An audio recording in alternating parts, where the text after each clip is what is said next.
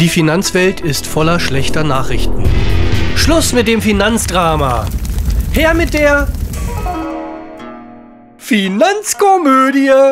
Zinsen auf Rekordtief. Nee, du, Anlagen machen doch heute wirklich keinen Spaß mehr. Ach, Geld ist doch nicht alles. Ja, warum geht's denn heute sonst, wenn nicht um Geld? Feng Shui. Was für ein Ding? Feng Shui fördert die positive Lebensenergie, das sogenannte Qi. Ist das der Bruder von Hachi? Horst. Erika, was ist bloß endlich gefahren? Qi, meine kleine Antilope. Warum ich? Ja, jetzt wird gelebt. Schluss mit Couch und Fernsehen. Oh ja! Warum ich? Erika, ich mag nicht. Ja, ich dafür doppelt. Herr Petri, unser unabhängiger Finanzexperte. Ich dachte ja schon, Sie kommen heute gar nicht mehr. Ja, ich auch. Mein Mann und ich, wir wollten gerade. Äh, bleiben Sie, bleiben Sie, solange Sie wollen. Sie können ja auch übernachten. Mir hat es sehr gut gefallen. Es äh, war kurzweilig, es war amüsant. Die Zeit ist wie im Flug vergangen. Das ist eigentlich ein schönes Zeichen dafür, dass es echt ein schönes Stück war. Tagesgeld, Sparbuch, Bundesschatzbrief. Aber heute ist doch auch eben alles so unsicher. Und außerdem habe ich viele schlechte Erfahrungen gemacht. Ach, womit denn konkret? Sehen Sie doch, oder? Also ich bin ja wohl die beste Anlage deines Lebens. Und warum kostest du dann nur Geld und bringst keines? Allein dieser Körper ist ein kleines Vermögen wert. Ja, das stimmt. Dann wirf endlich mal was ab.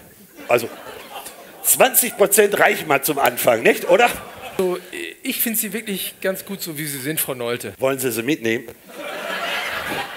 Früher, da war ja auch ich ein Renditejäger. Ich war immer auf der Suche nach der ultimativen Anlage. Also die ultimative Geldanlage müsste viel bringen, nichts kosten und dürfte keine Probleme bereiten. Ach, und die ultimative Frau viel putzen, wenig Geld ausgeben und dem Herrn alles recht machen? Und stumm sollte sie auch sein. Es ist äh, der Funke übergesprungen und ich denke im Publikum, und ich saß ja auch im Publikum, hat man das gespürt, dass es ja, locker, unverkrampft war, aber dass Botschaften schon auch rübergekommen sind. Tagesgeldkonto. Meist liegt hier wirklich viel zu viel Geld. Für den Notfall reichen ja bei den meisten Leuten 5.000 bis 10.000 Euro. Na, so viel ist das aber nicht. Das ist gut. Das ist viel, viel mehr. Horst! Und die Inflation sorgt dafür, dass Sie sich jedes Jahr immer weniger in den Einkaufswagen packen können für Ihre 100 Euro, weil nämlich... Die Inflation den Wert des Geldes Stück für Stück wegfrisst. Bis am Ende nichts mehr da ist. Deswegen spricht man ja auch von der Realzinsfalle, weil man zwar Zinsen bekommt, die aber so niedrig sind, dass das Geld real weniger wird. Nenn mich Finanzzorro. Die Frauen lieben mich doch nicht wegen meines Geldes. Oh, wegen deines Aussehens? Nein, wegen meiner inneren Werte. Cholesterin und Blutzucker?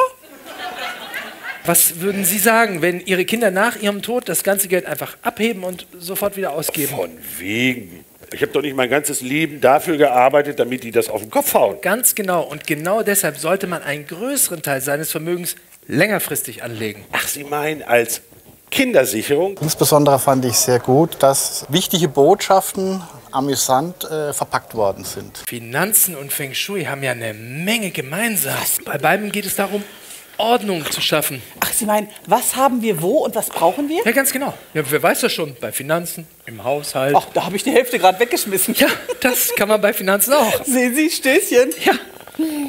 Und man sollte seinem Geld Namen geben, je nachdem, wofür das Geld gebraucht wird. Also zum Beispiel könnten 10.000 Euro vom Sparbuch dann Weltreise heißen. Traumbadezimmer 2020? Neues Auto 2017. Neuer Mann heute Abend.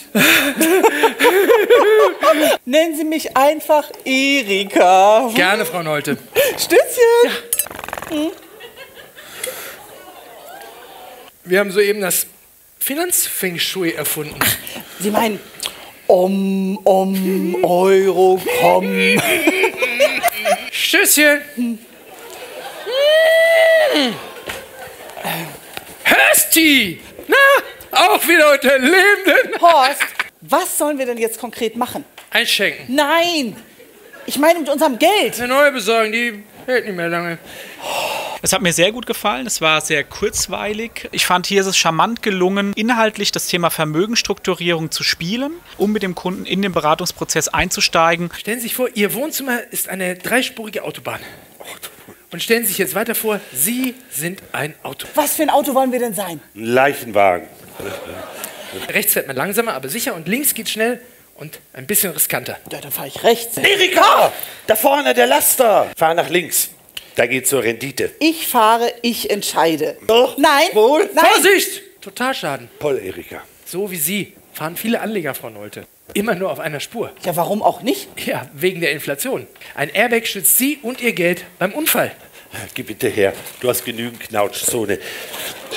Und jetzt kommt das Beste. Lukas, der Lokomotivführer. Der Finanzchauffeur? Sie sitzen als VIP bequem hinten und genießen die Fahrt. Da vorne der Laster. Hätten Sie noch was von dem Sekt da? Verstehe. Ich Ich war? denke, Frau Nolte. Nicht denken, Günther. Machen. Ein Horst und eine Seele. Vermögen strukturieren war noch nie lustiger. Altes raus, Neues rein. Ich liebe Aufräumen. Ideal geeignet für den neuen Beratungsprozess und außerdem für Erika! alle